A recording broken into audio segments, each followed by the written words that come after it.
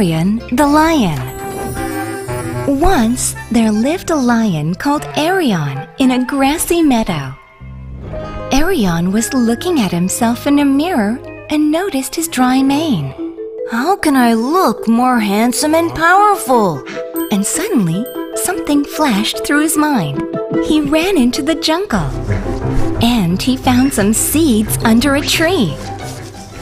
They were argan seeds, meadow foam seeds, camellia seeds, avocado seeds, macadamia seeds, and jojoba seeds.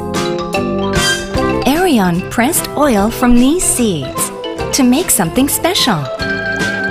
He even added a fresh scent to his recipe. That is how this magical hair essential oil was made.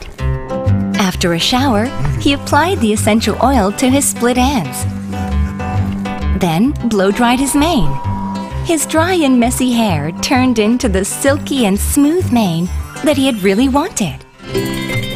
With beautiful, silky, and shiny mane, Arion became the king of the jungle. A luxurious blend of six oils.